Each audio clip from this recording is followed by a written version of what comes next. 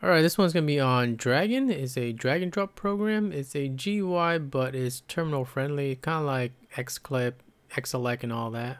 Uh, so this run is just called Dragon, and um, you know the, the the thing with this is that if you're already at your shell and you want to you know access that file and drag it to you know another program like GIMP, your image editor, um, you know your video editor or even your web browser, how would you do that? Because uh, the scenario is that let's say if you're at a web browser and you know they tell you to upload something, generally you have to like browse uh, directories and subdirectories just to get to the path that you're already at your shell at, right?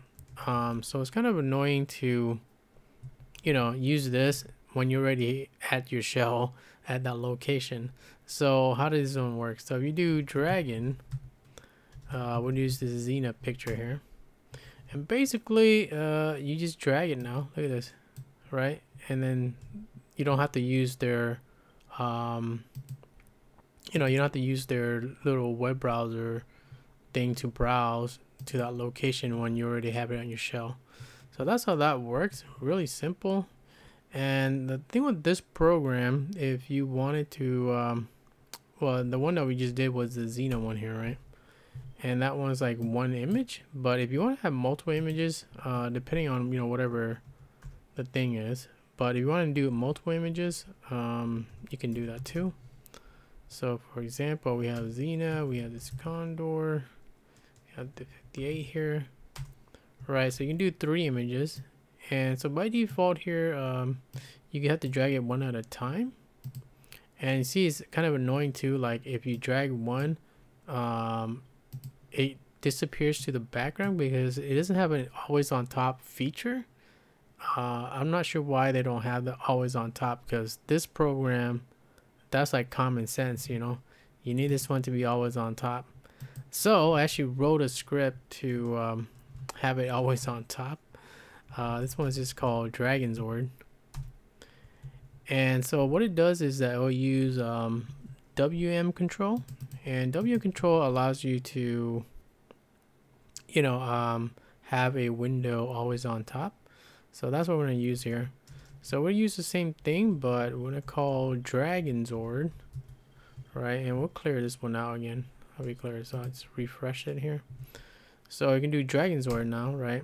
So whenever I uh, click on anywhere else whatever it is it doesn't matter. This one will always be on top. So if I can drag this in here right drag it again drag it again.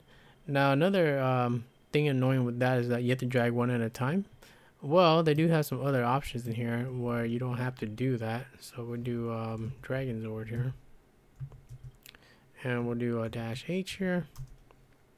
And they do have was that drag all files at once. So you can use a dash A and you can also exit at the same time which is generally what you want to do is drag all and exit the same time, right? So how do we do that here? Uh, basically the same thing, but we're gonna do um, what was that dash A dash X, right? And now uh, this one will always be on top, even if you accidentally click on anywhere else, doesn't matter. But now if you drag it once, uh, it'll put all the three of them at the same time, and it'll exit out of the program. So that's the you know general usage. Uh, probably 99% of the time when people are using this, they're gonna drag it to you know your image editor or your video editor or uh, you know your web browser, and then you want to do it all at once. Uh, so that's the scenario that 99% of the people are gonna use this for. They do have some other options in here like this target here, um, which it might be interesting if they actually did something with it, but uh, it doesn't really work with all the programs. Let me show you an example here. So if I do, um, oh, is that dragon Zord here? I'll do a target. All right, so this one, um, give me some examples here. So we got some images here, and this one is always on top. So if I drag it in here, it's supposed to, you know, output um, a text um, thing, but it doesn't work with the web browser. And if I tried that with the um, GUI, you know, file manager here, um, it would do something, right? It would just give me the list of whatever I just dragged in, but uh, it doesn't actually do anything. You have to write your own script to, um, I guess, a case statement or something like that, where you say, you know, if this is a JPEG, do this, send it here, whatever it is. So, I mean, it could be useful, but it doesn't really work with all programs. Like i just you know mentioned it doesn't uh, work with your web browser. It might be like maybe it works with firefox but not chromium or something like that. One of those um, you know issues. But uh, for right now kind of useless.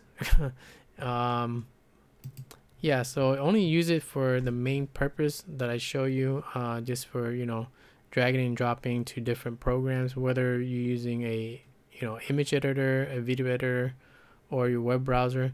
I mainly just use it for, you know, uploading images or uh, uploading YouTube videos. Um, that's about it for the program. Now, the, another issue with this is that um, it's called Dragon, but, uh, you know, there's a, I think a KDE uh, media player called Dragon already. So it might be a different name depending on distributions or, you know, however you want to do it. But, um, you know um, the main program or the you know the default name is just dragon so if you have it on a different distribution it might be called x dragon it might called uh, dragon dragon drop um, different names for it but um, if you're gonna do change it um, you know using the script here you want to change out you know all the the thing that has dragon in it and put the name that you compiled it however your distribution does it.